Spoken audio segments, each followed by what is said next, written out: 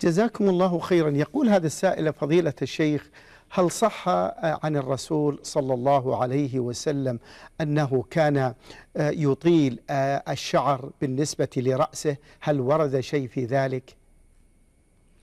نعم كان النبي صلى الله عليه وسلم يغذي رأسه وله لمة تملأ ما بين منكبيه ويتعاهدها بالتنظيف وبالادهان وغير ذلك وترجيلها لئلا تشعث ولئلا يكون فيها روائح غير مناسبة.